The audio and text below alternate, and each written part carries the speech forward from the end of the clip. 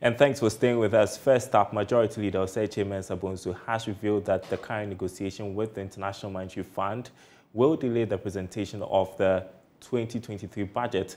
The Public Financial Management Act mandates that the budget is presented by the 15th of this month. But speaking to journalists, uh, Ms. Bonsu said a team from the IMF is expected in the country next week for further talks, and it's unlikely the budget will come off by the stipulated time? I'm not too sure as sit here. I still have to have some discussions with um, the minister responsible for finance to determine exactly when he'll be able to submit the document to us. As you do know, the Public Financial Management Act provides that um, the budget should be presented to the House latest the 15th of this month. Um, the discussions that are going on now involving the, the, um, the IMF, I think is going to take a little bit of a while. My understanding is that um, it will go into um, the first few days of next week, uh, around the 10th or so. If, if that is the case, uh, you know, you then have to strand out the conclusions and factor them into the budget. And um, after you've succeeded in doing that, because it's a budget for government, you have to go before cabinet for some discussions, integrations, and maybe um, additions and subtractions before it comes ultimately to parliament. So I believe it's going to be uh, quite difficult to, to submit to the 15th deadline. I don't know. I'm just conjecturing.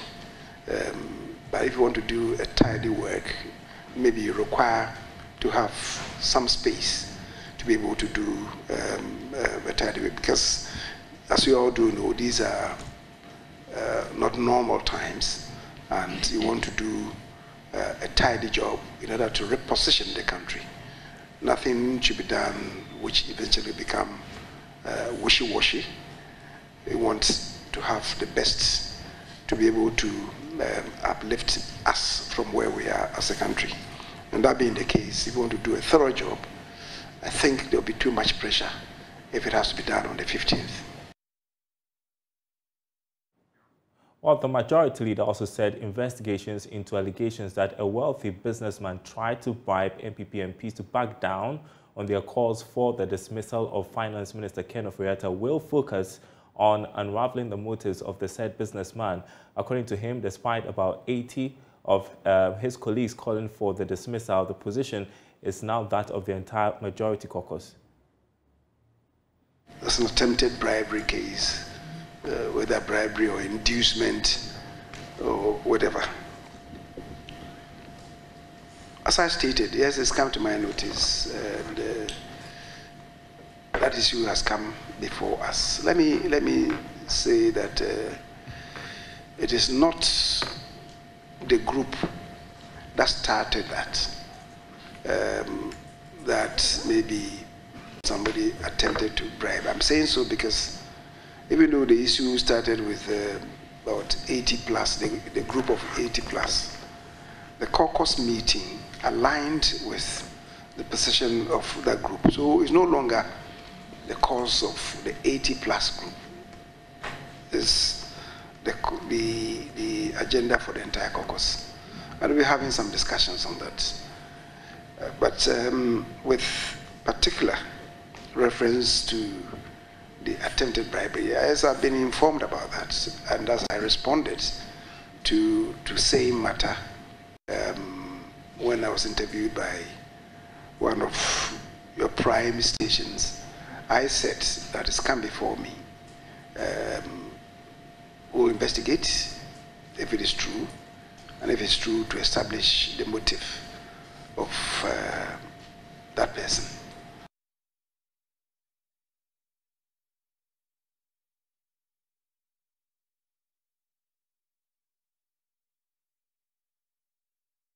All right, let's turn to some other stories for you. The National Petroleum Authority has defended the recent hikes in prices of petroleum products at the pumps. According to the authority, the unstable foreign exchange market is making it difficult for importers to get products. Head of communications at the NPA, Mohammed Kudus, tells Joy Business there was an unexpected situation which caused the increment before the normal pricing window. I'm allowed to borrow the expression of the president when he said that we are in crisis it means that we're not in normal times. Similar with our industry, we are not in normal times.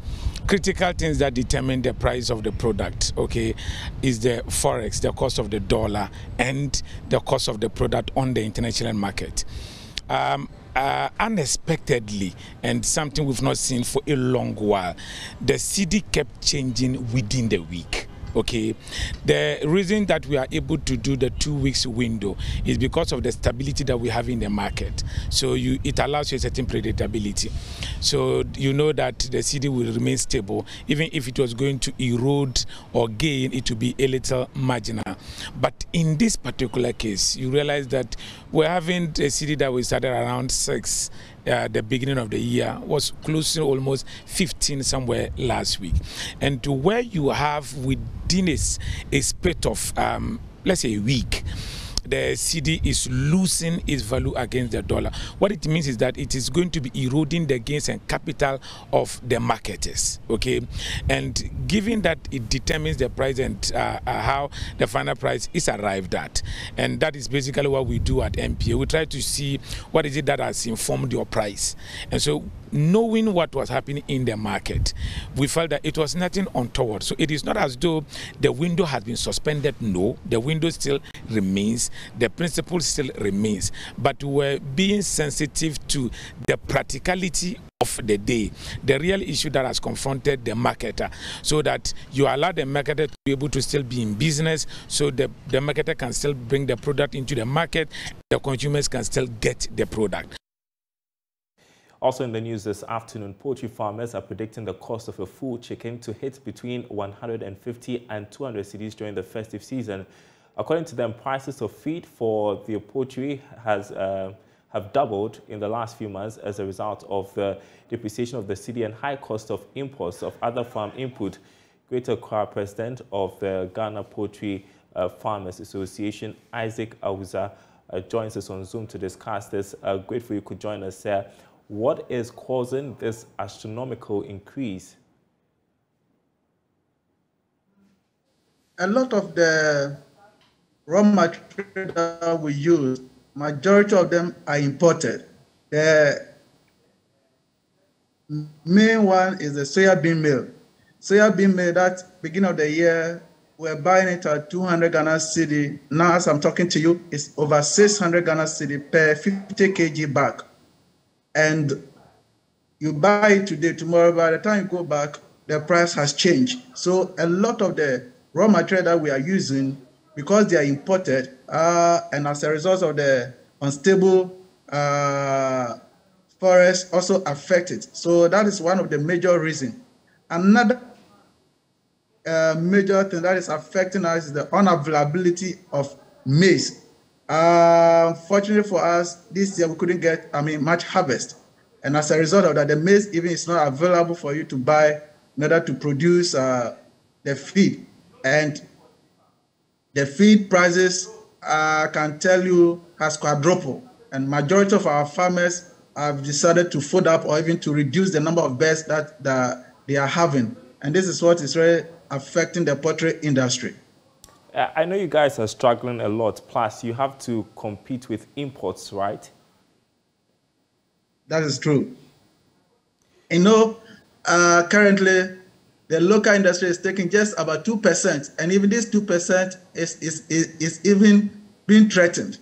And about 98% of, of, of, of uh, imported chicken is being brought into the country. And this is really affecting the local poultry industry. And uh, uh, the earlier the government come to the aid of the poultry industry, especially Greater Accra Poultry Farmers Association, the better for the uh, for the poultry industry, because of the importation of this uh, frozen chicken into the country.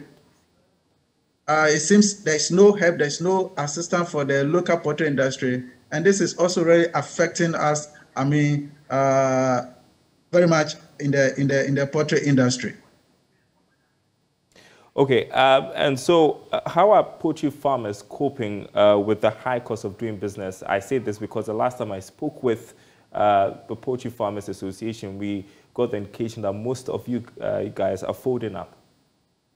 That is true. They are finding it very difficult. And people who are buying, let's say, uh, 300 bags of feed within two weeks or a week, has reduced drastically. They are no more buying. They can't they buy just few bags. And uh, a lot of them too are selling their best. And uh, those who, I mean, would have loved to go into broilers have stopped because of the high cost of feed. And it uh, I can assure you that come December, a broiler might cost even 150 or even 200 if if if if uh, I'm not I'm not uh, um, afraid to say so. So a lot of these things are affecting the number of birds that poultry uh, farmers are, are doing. And the earlier the government coming to the aid of the poultry industry, the better uh, for the country. Well, speak of government aid, I want to ask you about the Rearing for Food and Jobs program that was recently uh, introduced by the government. Is that helpful in any way?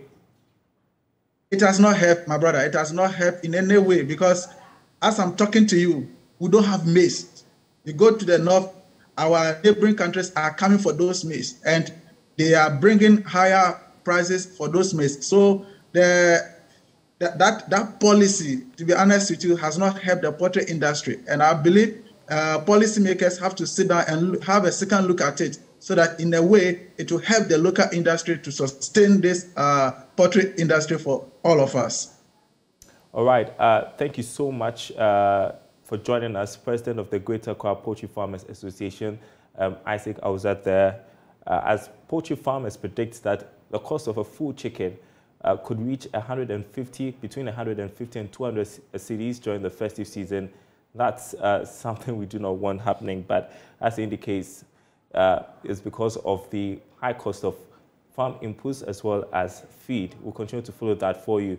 You're watching the marketplace. Moving on, among the 35 companies listed on the Ghana Stock Exchange, women hold 5% of the board seats and 27% of non-executive director seats. Yet, this number has remained the same since 2021.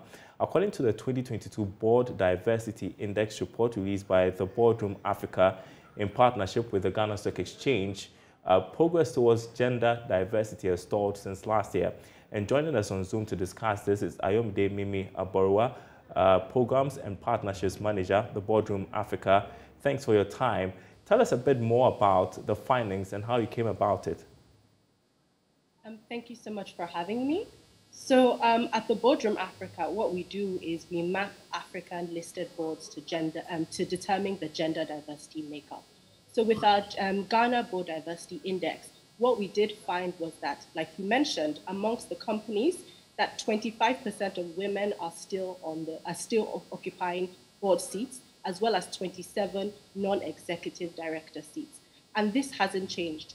And then also when we look at the data, we see that the common role held by women across Ghana listed companies are that of a corporate secretary, mm. a position, fact, not a board director role.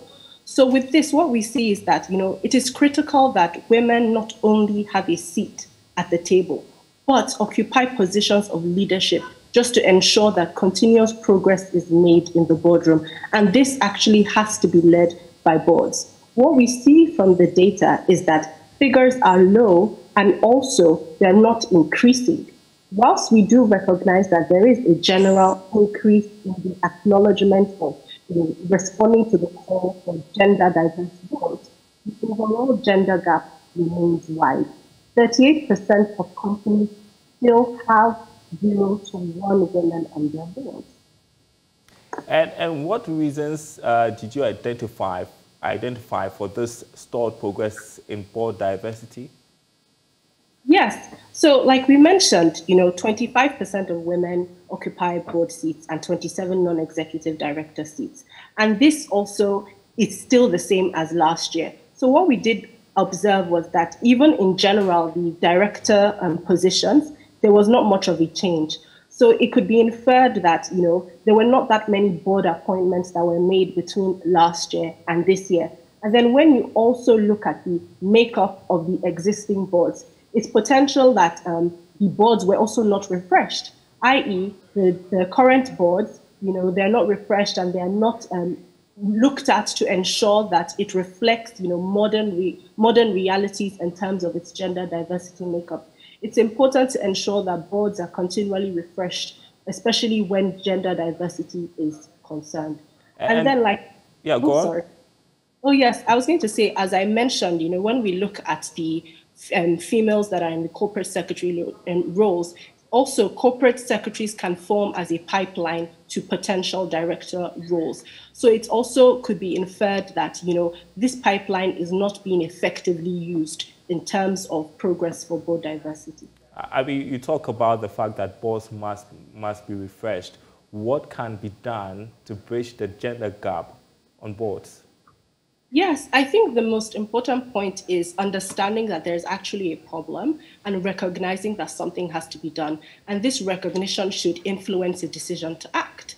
So that decision can then cut to, you know, companies instituting policies that ensure that, you know, there is a mandate for, you know, X percent or 30%, which is actually the international standard, you know, 30% of women on our boards. Additionally, at the Boardroom Africa, we have our board diversity charter, which is an initiative that calls on organizations to sign on to signal their commitment towards board diversity. You know, board diversity is typically seen as a checklist exercise, i.e., we have women on our boards and that's the end. But we want to ensure that progress and um, progress is continued. So by signing on that charter, it's companies committing towards doing something to ensure that they're working at their gender diversity makeup. So, so what can females do in terms of building capacity to increase their presence on boards? Uh, yeah, because usually the excuse is, well, they are not up to it. Yes, um, I think it's important that, you know, training is provided. First of all, you know, when you think of board director roles, there are not as much formal trainings that are available for women. So I believe that, you know, women should look towards training programs, executive development programs that prepare them for board opportunities.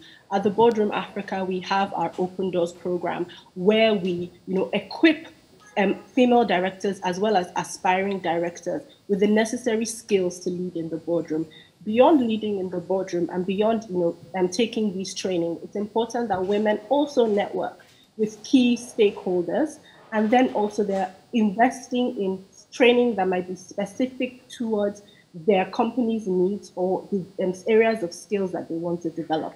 So training will help them to best position and take you know these opportunities. Would you support uh, a regulation that compels companies to have a percentage of females uh, in the boardroom, some sort of affirmative action? Most definitely, you know, regulation can be a, um, a catalyst for change. And like we mentioned, you know, compelling these companies is what will influence their decision to act i.e., you know, gender diversity is not something that's just only being spoken about, but then due to such regulation, they're also ensuring that they're measuring and monitoring their progress with regards to their gender diversity makeup. Mm. And so as we have this conversation, I just want you to tell our audience, why is diversity in the boardroom important? Why should companies deliberately ensure that? Yes, so there's actually been a growing body of research that states that you know gender diversity in the boardroom has tangible benefits from increased innovation also to increased employee engagement amongst other factors it's important that a diverse board reflects you know today's realities and also a best position a board to engage with its various stakeholders. You know, companies should deliberately ensure that its representation is achieved at the board level and it's also championed there too because leadership starts from the top. The tone is set from the top. It's the board of directors have a fundamental role in setting the example, and that is crucial to make a difference when we talk about gender diversity. All right, and, and so this survey was done in partnership with the Ghana Stock Exchange. I just want to find out what next from here after releasing this uh, report. Yes, so we also work with, you know, it's it's a country-specific report. So we've launched our Ghana um, Board Diversity Index, and it's to also keep publishing such analysis and data across, you know, listed companies on the continent. So we've done for Ghana, and we'll work on, you know, publishing such report for other, you know, other countries, as well as advocating for companies to sign a board diversity charter. So we're not just talking about gender diversity, but we are doing something about it. Happy to speak with you this afternoon, uh, Ayomide Aborowa, and uh, hope to speak to you in the near future. I appreciate your time. Programs Manager at the Boardroom Africa, thank you for your time. Thank you. That ends the marketplace. Before we go, we just want to update you on a big program coming up. That's our pre-budget forum uh, that's going to be hosted by uh, Benjamin Akakpo and Winston Amoah. It's on the topic, Ghana's alien economy 2023 budget to the rescue. Uh, we have on the bill uh, Professor Peter Quartey, who is director of ISSER, Dr. Priscilla Twumasi Baffour, who is senior lecturer, Economics Department, University of Ghana, Dr. Humphrey Darke, president of AGI, Kuku Adam, CEO of Clay Group, and Dr. Joseph Obeng, president of GUTA. That conversation on the 7th of November 2022 from 7 p.m. to 9 p.m. You don't want to miss it. And that's our program uh, this afternoon. Thanks for watching. We will be back same time tomorrow.